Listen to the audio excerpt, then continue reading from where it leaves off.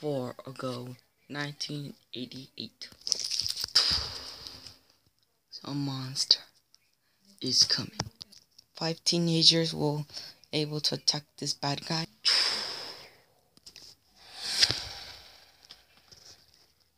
Inspired by the creepypasta Siren Head. Whoa, that was a hard work.